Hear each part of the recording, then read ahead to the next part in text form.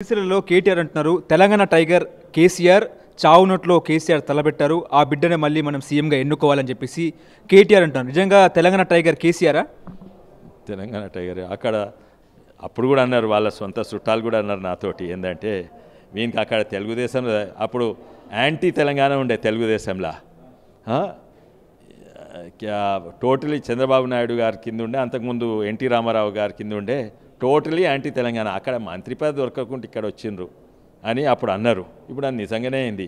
తెలంగాణ కొరకు రాలేదు. కుటుంబం కొరకు వచ్చిండు. కుటుంబం చేతిలో తీసుకుండు. కుటుంబానికి ఉద్యోగాలు ఫామ్ హౌస్కి నీళ్ళు తర్వాత విపరీతమైన స్కామ్లు అండ్ విపరీతమైన డబ్బులు. అయితే వాళ్ళు ఏ ఏం తలబెట్టిండు ఏమొచ్చిండు పెట్రోల్ పోసుకొని కాల్చకుండా ఏం చేసిండు? నిరాహార దీక్ష ఫేక్ నిరాహార దీక్ష చేసిండు. అప్పుడు తీస్తాం తీస్తాం అంటే హెల్త్ మంచి లేదంటే ఉస్మాన్ యూనివర్సిటీ తీస్తే బిడ్డ మేము చంపేస్తామని ఉస్మాన్ యూనివర్సిటీ వాళ్ళు వస్తాయి. అప్పుడు మళ్ళా ఇన్ని నీళ్ళు తాగి మళ్ళీ కంటిన్యూ చేసిండు. ఢిల్లీ బానిస బాటిల్ కావాలన్నా తెలంగాణ బిడ్డ కావాలన్నా అని చెప్పేసి కేటీఆర్ అంటున్నారు? ఢిల్లీ బానిస? పార్టీలు కావాలన్నా తెలంగాణ బిడ్డ కావాలన్నా ఢిల్లీ బానిసలు ఎవరయ్యా? ఢిల్లీ బానిసలు ఎవరు? ఇది భారతదేశం కాదా? నువ్వు పాకిస్తాన్ బానిసలు కావచ్చు. లేకుంటే వేరేది విదేశీల బానిసలు కావచ్చు. మన దేశం బానిసలు మనం ఎట్లయితాం? అంటే మీకు దేశం మీద ప్రేమ లేదా? ఏందన్నట్టు? అదే మీకు మాకు ఫరక్. అండ్ ఎందుకు? అయితే మీ బానిసలు కావాలనా? మీ వాళ్ళు బానిస మీది కుటుంబ పాలన. అక్కడ ప్రజాస్వామ్యం.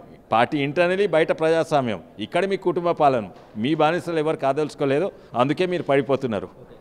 బీజేపీ చీఫ్ పేరుగా కిషన్ రెడ్డి తెర వెనుక చక్రం తిప్పుతుంది. కిరణ్ కుమార్ రెడ్డి అని చెప్పేసి కేటీఆర్ అంటున్నారు. ఏంది? బీజేపీ? బీజేపీ చీఫ్ పేరుగా కిషన్ రెడ్డి తెర వెనుక చక్రం తిప్పుతుంది కిరణ్ కుమార్ రెడ్డి అని చెప్తున్నారు. పిల్లగానికి తెలియదు ఏదో డైలాగులు ఇస్తాడు.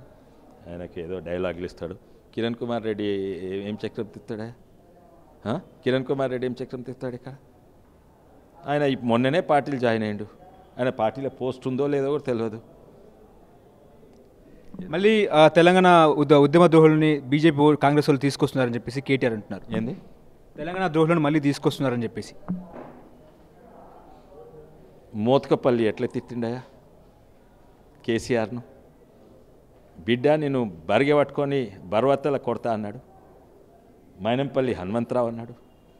తర్వాత ఈయన దానం నాగేందర్ అయితే కట్టబట్టుకొని సవితమ్మని అయితే వీళ్ళందరూ ఎక్కడుండయా మా పార్టీలు ఉండరా మీ సవితమ్మన్ సవితమ్మని అయితే అప్పుడు ఉద్యమం అప్పుడు పోలీసు వాళ్ళతోటి ఉద్యమకారులను కొట్టించింది.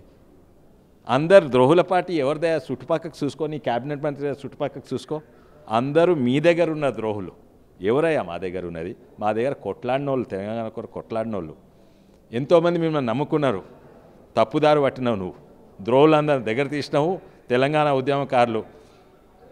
కో- మన కోదన్ రామ్ సార్ అన్న ఎవరినన్నా అందరినీ దూరం చేసుకున్నావు? ద్రోహులను దగ్గర చేసుకున్నావు. నువ్వు చుట్టుపక్కకు చూసుకో. చూసుకొని మాట్లాడు. వెనక ముంగట చూసుకో పక్కకు చూసుకొని మాట్లాడు. పిచ్చి పిచ్చిగా మాట్లాడుతున్నాడు. హరీష్ రావు అంటున్నారు కాంగ్రెస్ ఏమో స్టంట్లు వేస్తే బీజేపీ టెంట్లు వేసుకోవాలని చెప్పేసి హరీష్ రావు అంటున్నారు ఈ ఎన్నికల్లో. స్టెంట్లు నాకు నేను వినలేదు నాకు అర్థం కూడా కాలేదు దాని మీనింగ్. బీజేపీ వచ్చే ఎన్నికల్లో టెంట్లు కూడా వేసుకోవాలి టెంట్లు ఊడబీకాలని చెప్పేసి హరీష్ రావు అంటున్నారు. నాకు అర్థం కాలేదండి. ఏదో టె- టె- టెంట్లు అంటే నేను వినలేదు ఈ డైలాగు. ఏ సందర్భంగా అన్నారో దేని గురించి అన్నారో.